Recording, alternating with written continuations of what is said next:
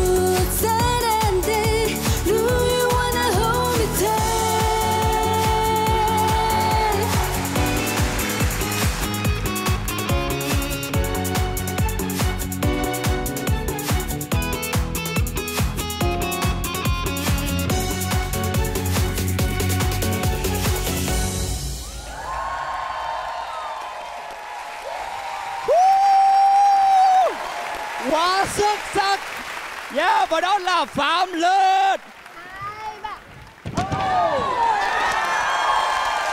khoan Wow, khoan khoan thật sự. khoan ơi cho cho hỏi thăm cái cái vũ đoàn của mình này rồi guốc dép đâu hết trơn hết trọi rồi Cái bài này là bọn em đi theo phiên bản gốc luôn ạ. Có nghĩa là cái phiên bản có cô ca sĩ người Nhật này là các bạn đều đi chân không hết ạ. Tại vì cái bài này tốc độ nhảy cũng rất là nhanh và cần di chuyển liên tục liên tục ấy thì chân không sẽ hỗ trợ các bạn nhiều hơn.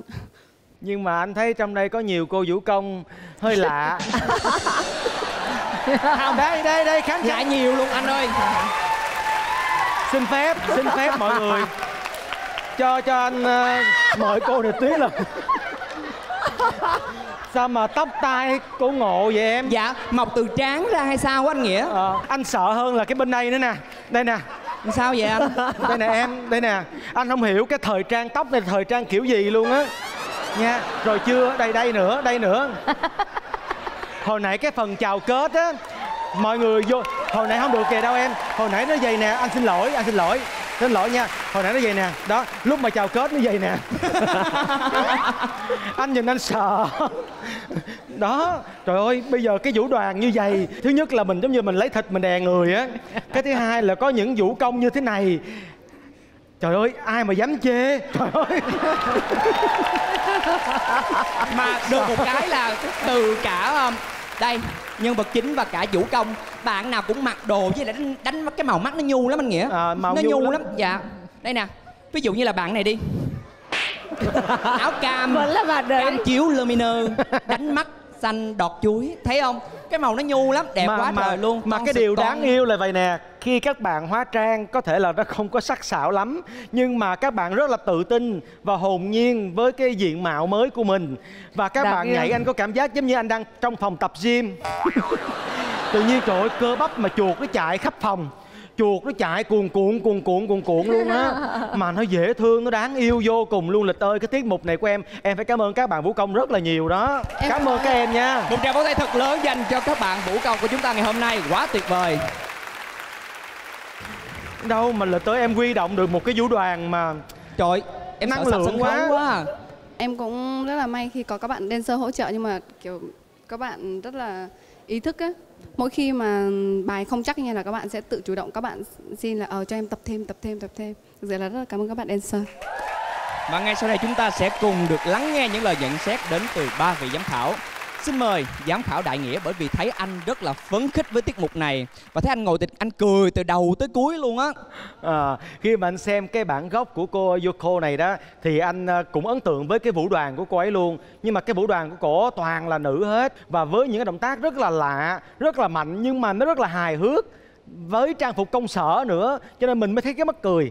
Đó và khi cô ấy trình diễn cái bài này á thì mình thấy một cái năng lượng nó rất là vui nó tràn ngập khắp mọi nơi. Thì thì hôm nay lịch đã làm được cái tinh thần đó. Em cũng đã bắt được cái cái thần thái của cái cô Yoko này là cái gương mặt của cô hát á. Cái gương mặt của cô lúc nào cũng hơn hớn hơn hớn nó có vẻ nó vui, lúc nào nó cũng cười như thế này nè. Đó, và cái gương mặt của em giữ đúng cái đó từ đầu đến đuôi luôn. Ban đầu thật ra khi anh xem cái bản gốc á, anh cũng ngại. Anh không biết rồi lịch sẽ làm nhân vật này như thế nào. Là bởi vì cái vũ đoàn gần như là choáng hết cái phần trình diễn của cô ta. Nhưng mà không em vẫn tỏa sáng giống như nhân vật chính của em vậy. Mặc dù cô ấy đứng giữa một cái vũ đoàn rất là đông người và màu sắc vô cùng sặc sỡ, dễ bị khán giả phân tâm. Và đặc biệt là trong cái vũ đoàn của em có những cái cô gái lạ lạ kia nữa, lại làm cho khán giả phân tâm nhiều hơn. Nhưng mà em vẫn không bị nhòe, em không bị nhòa, em không bị mất hút giữa một cái vũ đoàn đông người và màu sắc đến như thế. Đó là một cái phần trình diễn rất thành công của phạm lịch. Chúc mừng em. Cảm ơn giám khảo Đại Nghĩa rất là nhiều. Xin mời giám khảo Mỹ Linh ạ. tuần nào cũng khen à, lịch đây không còn từ để khen nữa. À, nhưng mà đúng là lịch á, có cái hay là như này. Lúc mà ra sân khấu á, thì càng vào các cái vòng sau á bạn ấy càng nhập vai. Lúc trả lời phỏng vấn một cái là bắt đầu là Rụt quay lại phạm lại. lịch liền rụt rè lại ngay. Thành ra là mọi người nhìn thấy một cái sự tương phản rất là rõ giữa phạm lịch và những ờ, nhân vật mà em hóa thân vào. Em là một vũ công em nhảy giỏi rồi nhưng mà vào cái bài này thì em lại phải ngô nghê cơ lại phải nhảy kiểu khác. Mà các động tác ấy rất là buồn cười cơ nhá. Dạ rất là buồn, lạ buồn cười cực kỳ luôn ấy. Thì là chị nghĩ rằng là đối với những người mà bản thân người ta đã là vũ công mà người ta nhảy giỏi ấy thì bây giờ bắt người ta nhảy dở là khó lắm chứ. Dạ. Nhỉ? Thì thành ra là em chị nghĩ rằng là đằng sau mấy phút biểu diễn ở trên sân khấu đó là một cái sức lao động và cái sự kỹ lưỡng của em. Ẩn đằng sau cái vẻ im im hiền hiền của em là một người rất là chăm chỉ thế nên là chị cũng đồng ý với cả anh đại nghĩa là rất là dành nhiều lời khen cho em trong cái tiết mục vừa rồi trông thì có vẻ là không có gì nhưng mà khó lắm đấy chứ không hề dễ đâu Chị Cảm ơn giám khảo Mỹ Linh rất là nhiều. Cô Xuân ơi, không biết là cô có đồng tình với lại quan điểm của anh Đại Nghĩa và cả chị Mỹ Linh không ạ? Sao tôi thấy ờ, tôi có mặt lần này tôi có lỗi quá. Tại vì các bạn dễ thương quá à. các bạn nghĩa là đem lại cái sự thanh xuân trong từng cái tiết mục á. Và rất rất là dễ thương luôn. Và rõ ràng là từ cái tập 4 mà tôi coi cho đến giờ tập 8 thì các bạn tiến bộ nhanh, dễ sợ luôn. Chỉ có một cái thắc mắc này trong bài này. Cái cô Yoko này, nếu như không lầm thì cô xem á, tự nhiên cô có cảm giác là cái độ nhu mì của cái cô ca sĩ á và cái nét hơi đứng đứng của cô ca sĩ á, nó làm cho cô cảm giác những cái thao tác múa và những cái hoạt động múa so với phạm lịch hồi nãy á, nó có chậm lại. Cổ điềm đạm hơn, cổ nhu mì hơn với cái số tuổi, với cái gương mặt và với cái phong cách của cổ, trong khi con thì rất là trẻ trung và hòa điệu đối với đội múa đó là một cái cảm giác rất là riêng rất là riêng của cô xuân thì đúng là con tham khảo thì cũng đúng là cô nhân vật này là cô ấy đã một người đứng tuổi rồi nhưng mà kiểu lên sân khấu sung quá rồi mọi người xung quanh hết con cũng kiểu à không vậy là được á mà con cũng mong muốn là giống mình mang đúng cái tinh thần cô ấy là kiểu đam mê nhiệt huyết và kiểu muốn Cháy cháy, hết mình sân với khấu âm nhạc, Dạ, dạ. đúng rồi Và cuối cùng là Phạm Lịch đã có một tiết mục cực kỳ giải trí. Đúng không ạ? rồi Vâng, cảm ơn ba vị giám khảo rất là nhiều. Và một lần nữa một tràng vỗ tay thật lớn dành cho Phạm Lịch. Quá tuyệt vời. Cảm ơn bạn.